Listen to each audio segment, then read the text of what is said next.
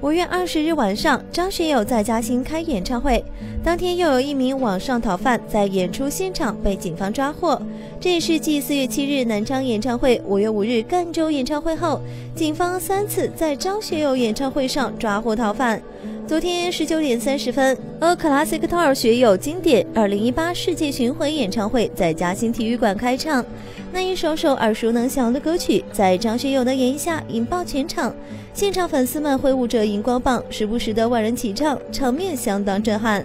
在当天晚上七点左右，来观看演唱会的粉丝们陆陆续续的走过安检，现场一名歌迷也在通过安检。当于某通过安检门后的几分钟，警方的系统发出预警，在现场的民警和保安人员在演唱会相关看台进行搜捕。由于现场人比较多，灯光特别暗，如果大规模巡查，必定会引起嫌疑人的注意，所以警方采取迂回战术，在演唱会的进出口蹲守。演唱会结束散场后，于某准备退场离。开，但民警在人群中一眼就认出他来，并将于某抓获。目前，于某已被送去看守所，择日会交给警方处理。